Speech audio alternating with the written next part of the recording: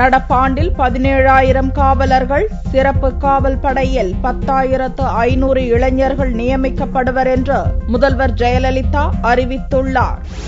தமிழக சட்டசபையில் செவ்வாய் அன்று காவல் மற்றும் தீயணைப்புத்துறை மானிய கோரிக்கை மீதான விவாதம் நடந்தது. விவாதம் மீதான பதிலுரையின் போது முதல்வர் ஜெயலலிதா புதிய அறிவிப்புகளையும் வெளியிட்டார். தமிழ்நாடு சீருடை பணியாளர் தேர்வு வாரியம் மூலம் ஆண்டுதோறும் நியமனம் நடைபெறும் என்று அறிவித்த முதல்வர் ஜெயலலிதா நடப்பாண்டில் பதினேழாயிரத்து நூற்று முப்பத்தி எட்டு காவலர்கள் ஆயிரத்து தொன்னூற்று ஒரு காவல் உதவி ஆய்வாளர்கள் ஆயிரத்து ஐந்து தீயணைப்பு பணியாளர்கள் மற்றும் இருநூற்று தொன்னூற்று இரண்டு சிறை காவலர்கள் தேர்ந்தெடுக்கப்படுவர் என்றும் டிஎன்பிஎஸ்சி மூலம் முப்பது டிஎஸ்பிக்கள் தேர்வு செய்யப்படுவர் என்றும் தெரிவித்தார். தமிழக சிறப்பு காவல் இளைஞர் படையில் பத்தாயிரத்து ஐநூறு இளைஞர்கள் சேர்க்கப்படுவர் என்றும் தெரிவித்த முதல்வர் ஜெயலலிதா குழந்தைகள் கடத்தலில் ஈடுபடுவோர் மீது குண்டர் சட்டம் பாயும் என்றும் கூறினார்.